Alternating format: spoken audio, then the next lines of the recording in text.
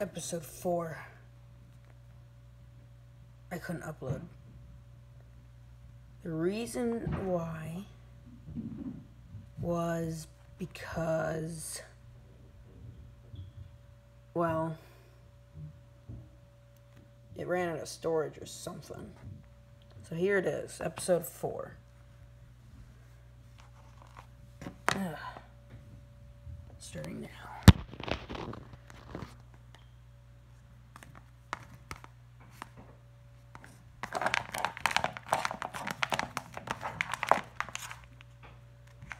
Hope you enjoyed.